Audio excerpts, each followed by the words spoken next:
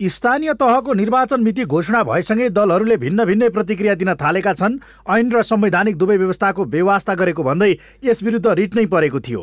वैशाख तिसमै निर्वाचन गरे पनि असोज दुई गते मात्रै आफ्नो पाँच वर्ष पुग्ने भएकाले सो अवधिसम्म काम गर्न पाउनुपर्ने भन्दै महत्तरीका भङ्गाहा नगरपालिकाका मेयर समृत कुमार शाहले सर्वोच्च अदालतमा रिट दायर गरेका थिए। यद्यपि उनको माग सर्वोच्चले अस्वीकार गरेको छ यसले कानुनी रूपमा अब निर्वाचन नरोकिने प्रश्न नै भएको छ। तर देशमा चुनावी माहौल बनाउने तथा सबै राजनीतिक दलहरूलाई निर्वाचनमा भाग लिन पाउने वातावरण सिर्जना गर्ने सत्ता घटक नै चुनावबारे एकमत हुन सकेको छैन।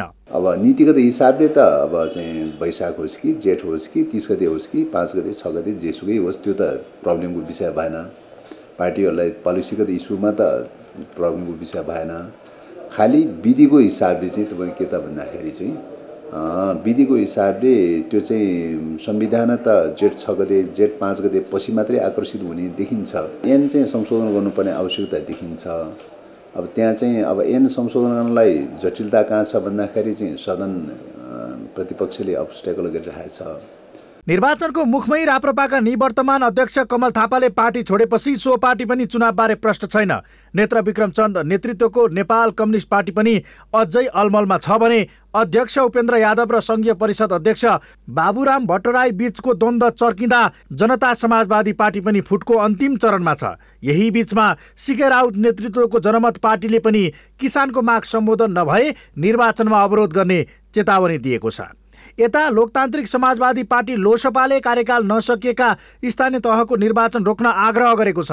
वैशाख एकतिस गते भएको पहिलो चरण निर्वाचन संविधान अनुसार नै भइरहे पनि असार चौध र असोज दुई गते भएको तेस्रो चरणको चुनावलाई हेर्दा भने अहिले भएको चुनाव न्यायसङ्गत नभएको उसको भनाइ छ। आवधिक निर्वाचनको आफूले स्वागत गर्ने तर संसद अवरुद्ध रहेको सभामुखको राजीनामाको कुरा उठेको तथा सत्ता घटक नै एक हुन नसकेको अहिलेको अवस्थामा मिति घोषणाले मात्र चुनाव हुने ग्यारेन्टी नहुने लोसपा नेताहरूको भनाइ छ।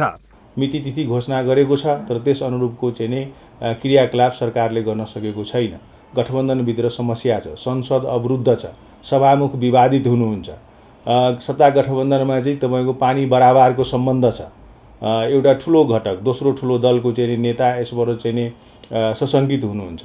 उहाँहरूले नि निर्वाचनको माहौल चाहिँ बनाइराख्नु भएको छैन। त्यसको विपक्षमा हुनुहुन्छ। राजनीतिक वातावरण बनेन भने त निर्वाचन सम्भवै छैन नि। त्यसैले सत्ता गठबन्धन यसमा गम्भीर हुनुपर्छ। तर सत्ता घटक कङ्ग्रेसका नेताहरू भने निर्वाचनका बारेमा आफूहरू प्रष्ट रहेको र तोकिएको मितिमा निर्वाचन हुनेमा आशंका नगर्न आग्रह गर्छन्। सबै दल निर्वाचनमा सहमत हुने भन्ने नहुने उनीहरूको भनाइ छ तर मिति घोषणामा केही ढिलो हुँदा देउवालाई लोकतन्त्र विरोधीको संज्ञा दिनेहरूले नै संसद अवरुद्ध राख्ने तथा सत्ता गठबन्धन टुटाउने खेल खेल्दा समस्या भएको उनीहरूले बताएका छन्। हाम्रो पार्टीको सभापति र प्रधानमन्त्रीलाई विशेष गरी नेपाली काङ्ग्रेसलाई निर्वाचन विरोधी बनाइयो। आज फेरि निर्वाचन घोषणा गरिसकेपछि फेरि सर सरकारले वातावरण बनाएन भनेर सरकारलाई नै आक्षेप लगाउने कुरा प्रतिपक्षी दलको गैर जिम्मेवार कुरा हो। सत्ता गठबन्धनभित्रका दलहरूले पनि केही कमी कमजोरी देखाएर सुधारेर जाउँ भन्ने कुरा चाहिँ त्यसलाई नकारात्मक हुँदैन तर मितिको बारेमा कुनै पनि कुरामा दुविधा हुने र यसलाई सार्ने कुरा हुँदैन। अरू मिलाउनु पर्ने कुराहरूमा चाहिँ ऐन कानुन र सत्ता गठबन्धनभित्रका कुराहरू केही कुराहरू मिलाउनु पर्ने छ भने त्यो कुरा मिलाएर अगाडि बढ्ने कुरा संविधानको दायरामा बाँधिएका दलहरू न त निर्वाचनबाट भाग्न सक्छन् न त सहजै स्वीकारेर अघि जान सक्ने अवस्थामा नै छन्। दलीय अन्तर्द्वन्द्वमा मात्र नभएर पार्टीभित्रको आन्तरिक द्वन्द्व बौलाएकाले चुनाव सार्ने कयौँ बाहनाहरू गठबन्धनभित्रकै दलहरूले समेत खोजिरहेका छन्।